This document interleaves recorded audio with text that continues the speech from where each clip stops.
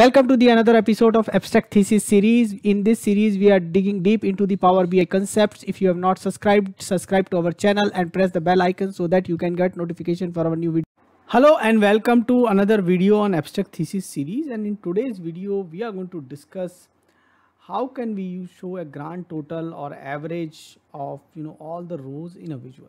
Now this is a problem like if I have uh, any visual and I want to show grand total, how do I show? Because Power BI doesn't give an option in any of the visuals to show us the grand total. Okay, so if I have a visual like this, and let's say I have brand and I have net. And let's say I want a grand total row. Or maybe I have similar visual, I have brand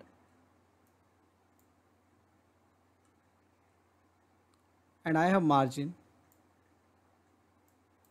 and I want to have an average margin row. How do I do that now? If we look at the properties, let's say grand total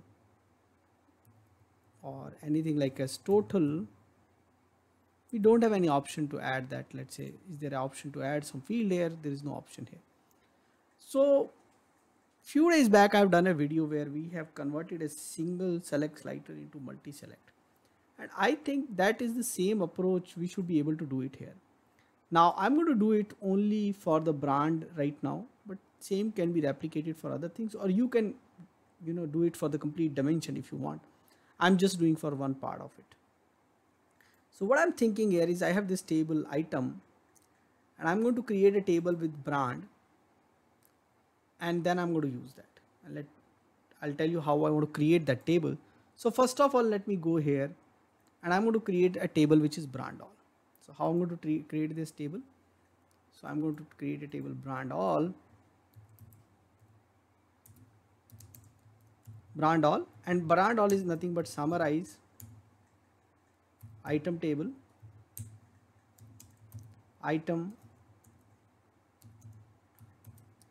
item brand and it will have a second column again which will be known as all brand and I will have item and I will have here max of item brand. Now because the same thing is coming in this table again, so it's going to be same values. So brand and brands value. Now I'm going to do this thing. I'm going to say union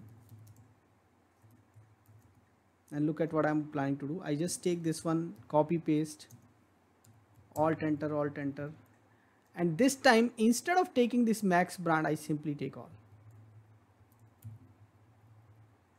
And I then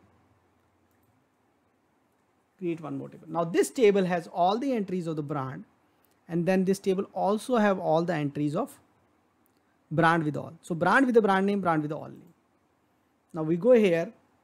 We create a new layout. In that new layout we have an item table we have this brand all table. We join it on brand. And this is a many to many relationship. The only thing you can do is uh, if you want you can say single brand all items. So cross filter direction is you know single brand all filters item. That's the thing you can do if you don't want a bidirectional join. So what would happen that this is going to filter this table? That's what you can do but this is not going to do with reverse direction. So we have to test it so let's go ahead and look at it. So now what we are going to do is let's make one of this visual little bit small. And let's make this visual also a little bit small. Place them side by side. Now let's have one more copy this visual and double it up. And let me do one thing now. So I was using a brand here. Okay you can see I'm using brand here. So instead of brand let me go to the brand all and start using all brand now you can see and we have to compare values. So brand 8 is 1 million around 1 million. And this is also around 1 million but and I, and I know my total of net is around 7.8 okay? That's my total row. Now this total row is now coming at the start and you want it at and then you can add a sort column. Now the sort column is something when you can say uh, all the brands have the similar index which what brand has and then I can have higher index for this one so it will automatically get sorted when I sort it. Okay otherwise right now what happens if I sort it let's say I can this case I can say sort descending on the all brand and it will go at the end.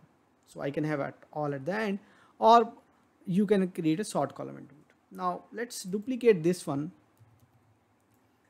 And we have to check whether you know uh, this one is giving me the average or not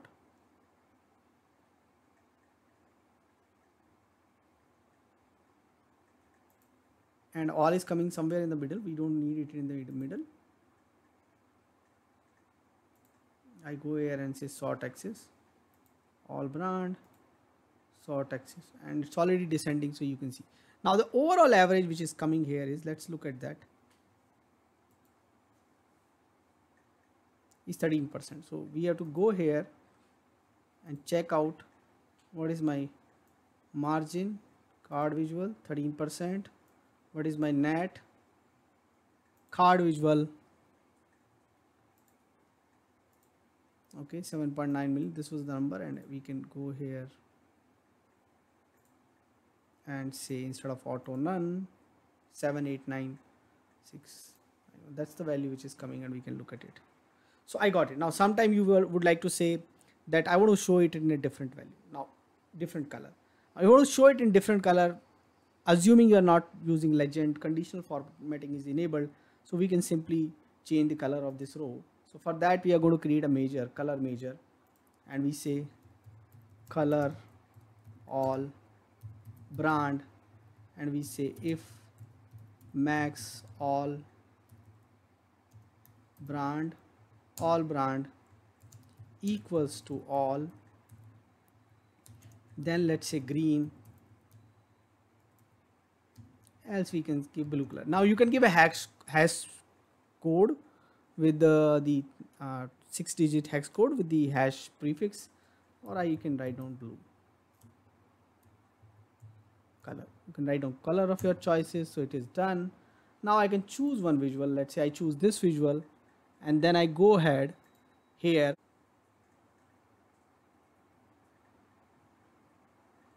X-axis values fx no we don't want to color f-axis values. We want to color the bars isn't it? So we go to columns fx field value color all brand and you can see this is again same way I can go here fx field value color all brand. Okay. So I have a grand total. So so there is an alternate. Now if you say I need it for category also item also and all those so maybe I replicate the item table same way. And in all those column category brand one time I have their values second time I have all all all all that way that's the way you can do it. So how do you like this trick? Thanks for watching this video. Thank you Keep watching, keep asking questions in comments, subscribe to my channel and press the bell icon so that you can get notification for new videos. Thank you.